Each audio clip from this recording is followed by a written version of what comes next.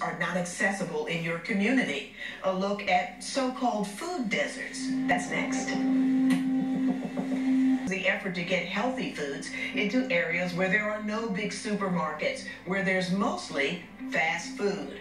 Well, COVID-19 restrictions and soaring unemployment are making it even more difficult for people living in food deserts to get a meal, any meal. When I open the door there on a, on a typical Wednesday for a feeding event, you'll have well over a thousand people in need. There are not quite a thousand on this Friday morning in the parking lot at St. Joseph Pro Cathedral on Federal, but the need is crystal clear. I haven't been in a line like this my entire life until this COVID-19 began. I've been employed my entire life until March of 2020. Unfortunately, Dan Brown, who drove in from Sicklerville, has lots of company in long lines forming early. People on foot, people in cars, picking up two cardboard boxes full of fresh produce and dairy products. These are all a byproduct of the USDA, and it comes through Philabundance to the Touch organization and then to these places right here in neighborhoods. This is absolutely a blessing. It's a partnership between the nonprofit Touch New Jersey and the freeholders of Camden County. It's a lifesaver for the hundreds of people being served here. The fruits and vegetables are very helpful. And even, well, I don't use that because that's someone else, but Serving on average more than 300 families at each location every week before the food runs out and people have to be turned away. It's really disheartening to know that for 15 weeks we've been doing a food distribution once a week and that line has not gone down. It's increased.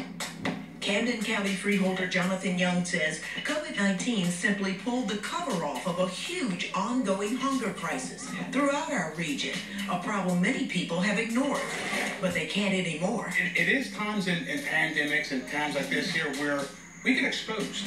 Um, and, and that exposure is deadly. Now, how you act on that is the difference.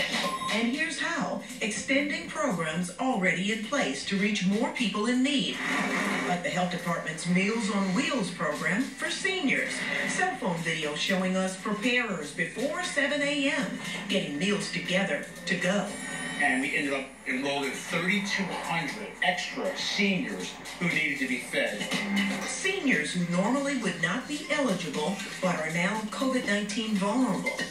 Jamie DiFrancesco making the rounds.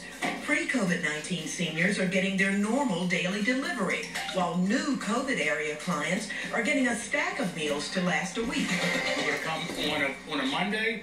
Boom, see you next Monday, and that's your that's your meal pack for the week. It's more, mostly uh, frozen food for them. We're in a food desert, and when to get any food is a big deal. To get quality food is even a bigger deal especially now that officials say plans have fallen apart to bring a major supermarket chain into the city of Camden. Right. A long-time food desert where healthier, affordable meal selections for most are out of reach.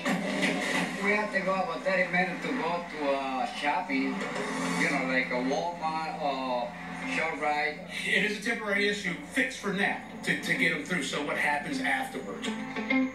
Expanding facilities at the Sustainable Complex in Lakeland to include a farmer's market of low-cost fresh foods. And for those who can't get here, the freeholders hope to send out old-school produce trucks into underserved neighborhoods. Something affordable, exactly right. We're not, you know, our idea here is not to make a profit.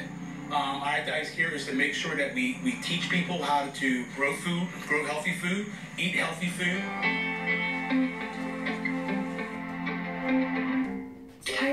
Pressure sales spin?